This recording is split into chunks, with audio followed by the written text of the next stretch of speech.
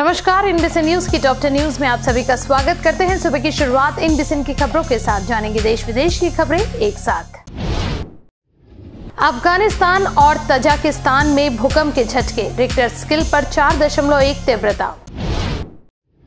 हैदराबाद के दिग्गज real estate company पर आईटी का पड़ा छापा 20 स्थानों पर चल रही है रेड। कांग्रेस आज से जम्मू कश्मीर में हाथ से हाथ जोड़ो अभियान करेगी शुरुआत। पाँच मार्च को होगी नीट पीजी परीक्षा, शीर्ष अदालत ने खारिज की याचिका। केंद्र सरकार की बड़ी जीत, दिल्ली हाईकोर्ट ने अग्निपथ योजना को करार दिया वैध। नेपाल के प्रधानमंत्री प्रचंड को झटका, ओली की पार्टी का समर्थन वापस लेने का लिया फैसला। शिव मोगा को मिला अपना एयरपोर्ट, पीएम मोदी के हाथों हुआ उद्घाटन। कैब की तरह ही अब बुक कर सकेंगे ड्रोन। सरकार कई क्षेत्रों में करेगी इसका उपयोग। नागरिक उड्डयन मंत्रालय से लेनी होगी मंजूरी। चीन में वायरस का ट्रिपल अटैक। अब इन्फ्लूजा और नूरा वायरस ने बरपाया कहर।